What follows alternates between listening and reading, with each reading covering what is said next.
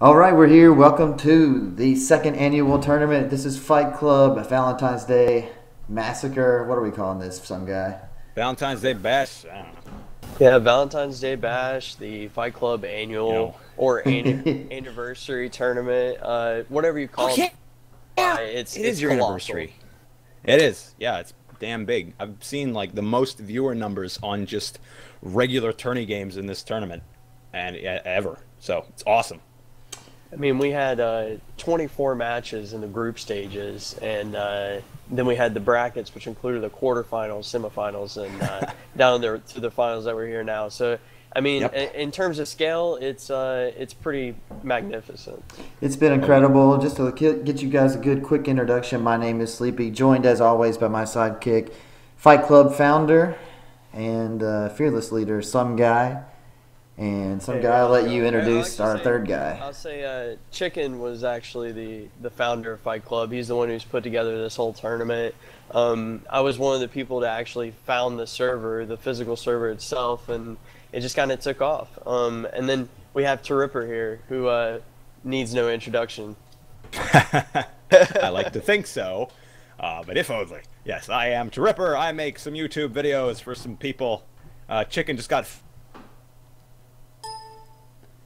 Chicken just got what?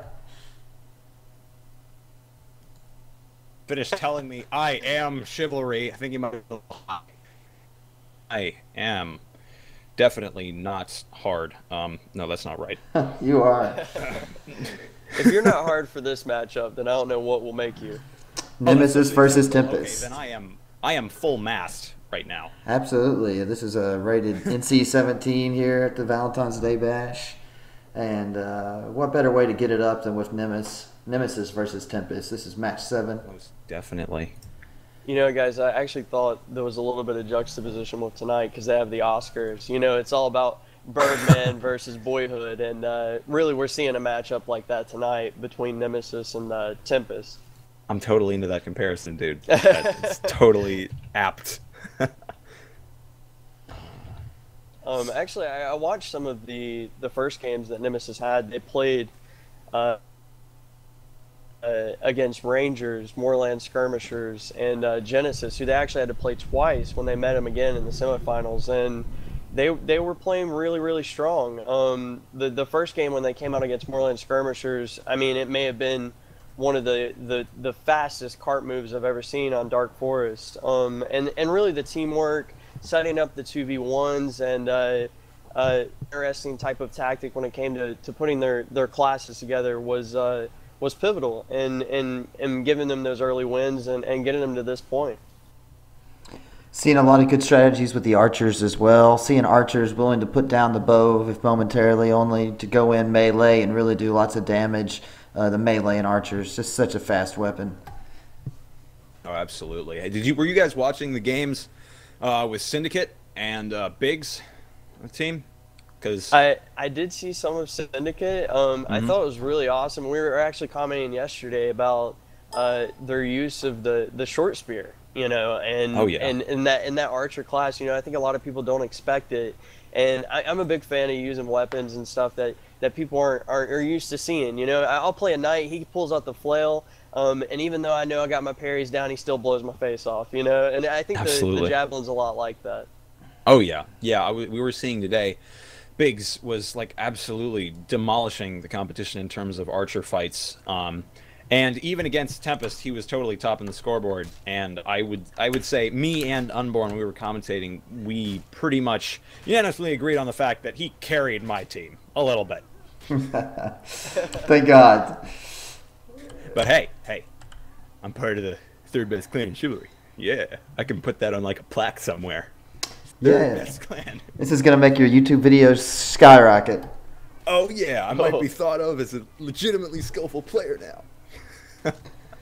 Um, I you know I think i i in terms of some of these other archer uh, kind of setups that they've had going on, uh, mo- you know most people this tournament you can only have one archer per team, um, but I saw Palacier going with the light crossbow, and I've seen a couple people doing uh, you know the short spears that we had we had said prior, but also longbow and uh, a- a little bit of warbow, which you know really isn't as common.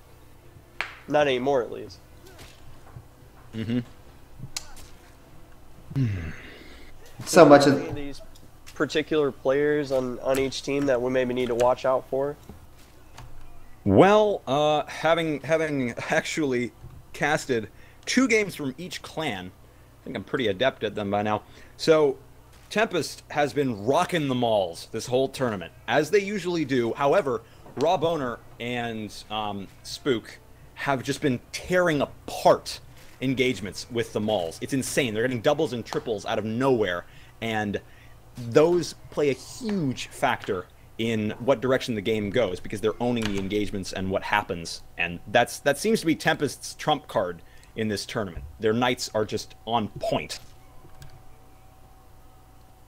Yeah, and I, you know, I think uh, we've seen a lot of people, a lot of teams going with the. Uh, it's a six v six tournament. I've, I've been seeing, I've been seeing a lot of three knights, uh, maybe uh, one Vanguard, one MAA, and one Archer setup. Though we've seen a couple people go to Vanguard, but you know, I, I was kind of positing this to, to Sleepy yesterday. Do, do you think that any of these people are, are going to drop that third knight, or is it is it pretty much obligatory to, to have three knights in your setup?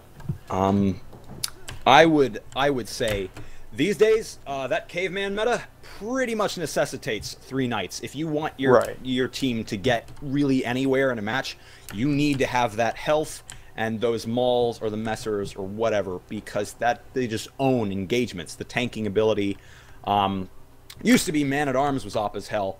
They're still a little op as hell, uh, but now with that new caveman meta, you know, knights are really taking the podium as pretty much the most favored class. I've heard the Maul has fucked more knights than the Black Plague. But um, oh. but seriously though, uh, we do see the Maul, the Messer, the Sword of War. Is there room for any other knight weapons? Mm, I would honestly say, um, other than you're saying the most used Maul Messer Sword of War, Exactly. um, I would say a little bit. We saw this is funny. We saw Bearded Axe in a duel. Uh, we never see that in competitive. I don't think he used it in the actual competitive game. Yeah, I would probably say there really is no need to use any other weapon, um, which is why I, I actually condone something that Omega is trying to push right now, which is a weapon pick ban tournament. That could be really interesting because it could invoke some lesser used tactics of much le- much lower popularity weapons. Um, but but I at this point I, I don't think there's any sense in using any other weapon. Absolutely. Um, so Looks like maybe they're Mm-hmm. they're they're trying to figure out what server they want to go with. Uh, they were getting a, a little bit of uh, a higher ping here in uh, Fight Club Home. I don't know where they're based out of, but there might be a server switch here. We might see a half and half uh, played as a, there were a couple games that where that was the choice uh, earlier in the tournament. Mhm. I think I might have noticed that a little bit as well. Yeah, we'll be accommodating to that for sure. Just to give a big shout out to our server providers, though, this tournament has been sponsored by Simrai. Even you can afford a server. Even you, some guy. Even me, on my meager Fight Club wages. How much does it pay to be a, a Fight Club manager? Um, negative five dollars, I think. Uh, $5 a month? Three fifty. My bad. Three fifty a month, I'm sure.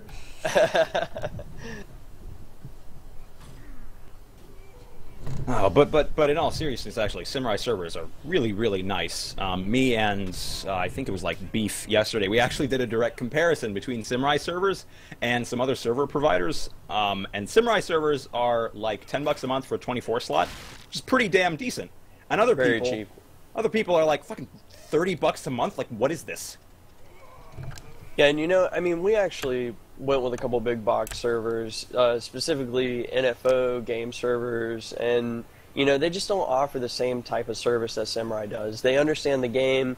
Uh, they understand that there's kind of a niche that that Chivalry fills in, and, and they're gonna they're gonna help you out to make sure that you know you're you're not having high latency uh, players on your server. You're you're not having any stutters or, or frame loss, and uh, they're really gonna help you out along the way, and that's what really sets them apart.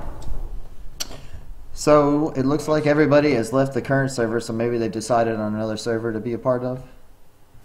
And get this started. the case. It's appearing that way. All right, so we might have to. I'll have to turn off my shift stream for just a second while Do we enter the stuff. password. Do you guys have any idea where we're heading? Uh, they were talking about maybe doing Tempest duels, but I don't know if that's No official word yet. or- Okay.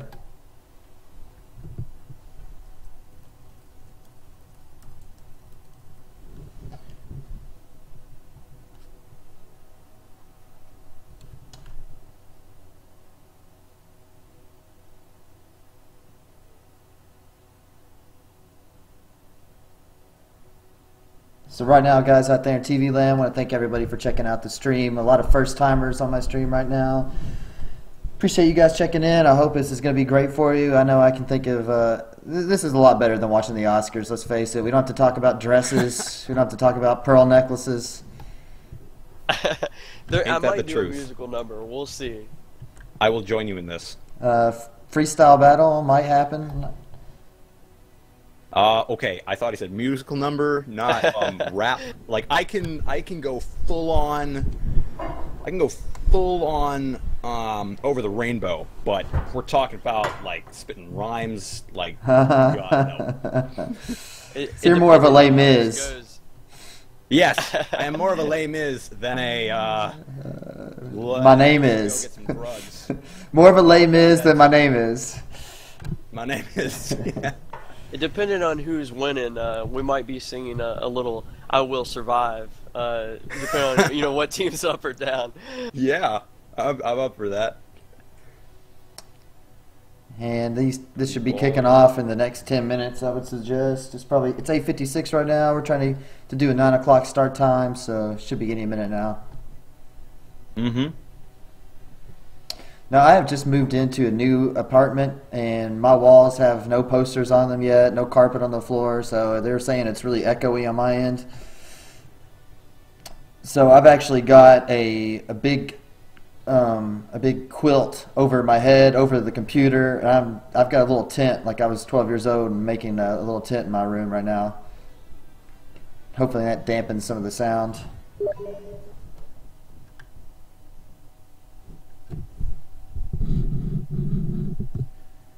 I've actually got a pair of underwear wrapped around my mic to try to dampen it. Okay, I'm glad you. I'm Well, glad TMI. you said the second half of that sentence. It smells great. Um, oh, What muffles uh, microphones best? Uh, boxer briefs or? These are about week old boxer briefs. I'm just using a regular pop filter. I think I might be doing something wrong. You absolutely are. I, I, Yeah, I got all my pop filters and got all that, but it just uh, I haven't got everything moved yet to my new studio, so it's kind of bad timing. Okay. So underwear it is. God, if I had a picture of this, this is something I want to look back on in ten years.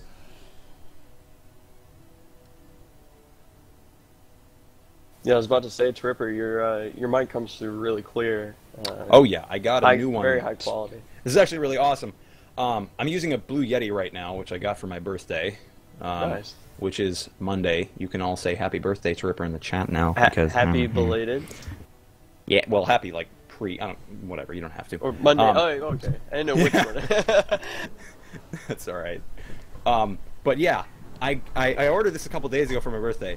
I was like, there's no way it could come Saturday. That's just no, no. When I when I start streaming, that's insane. It comes 20 minutes before I'm supposed to cast my first game, Sweet. which is, uh, yeah, it's like it was a sign.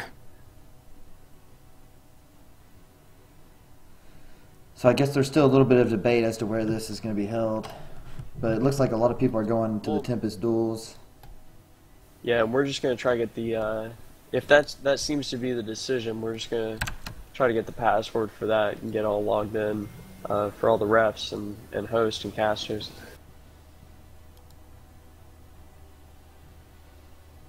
You know, I, I was actually talking about because this is actually the second uh, annual Fight Club tournament. We were founded February 2nd uh, in 2013, probably one of the longest standing and uh, most popular servers uh, around. You know, we were really trying to to to appeal to the